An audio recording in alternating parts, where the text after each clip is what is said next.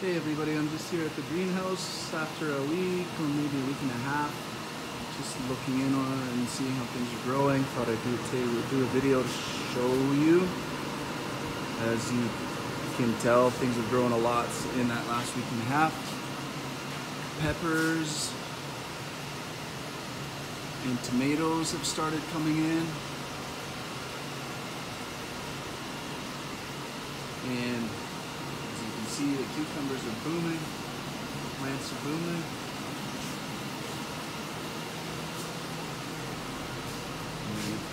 The other side.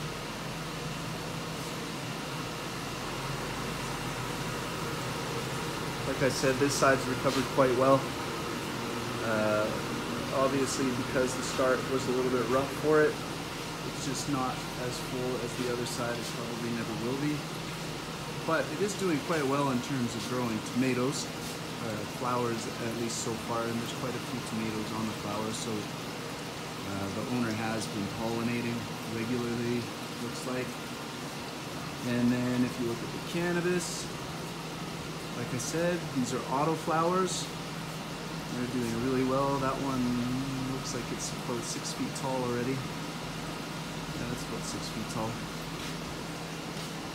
eggplants, a couple flowers on them as well. Brussels sprout. I honestly don't know that much about Brussels sprout, so we'll just wait and see what happens with those.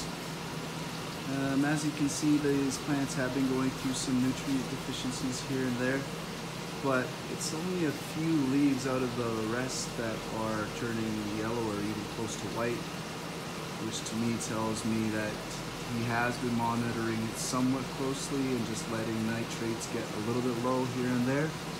So the plant has been drawing nutrients from uh, minerals and things from the lower leaves.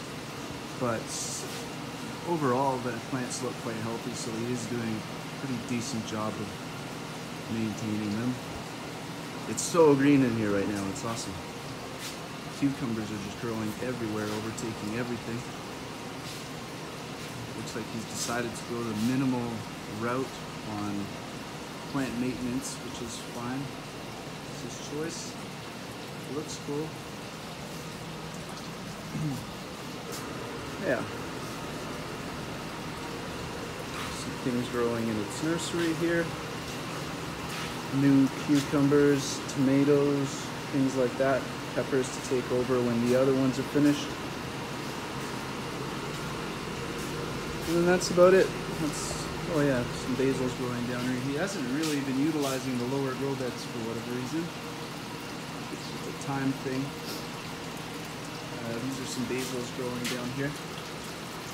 Something really growing in the other ones, I don't think. That green around the hole there, that's algae. Worry about. Well, yeah, everything looks really good.